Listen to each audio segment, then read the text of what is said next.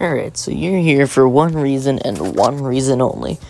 And that is to find out why Fortnite has not released Travis Scott into the item shop recently.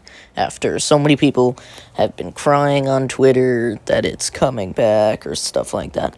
So the reason that it's probably not going to be coming back is because they have to get his permission to release it. They have to give him money for it. And, uh I mean, they could just like give him the money for the items, but he probably has declined to uh to uh let them release the skin. Uh, that's the only logical reason why Travis Scott has not returned to the item shop recently.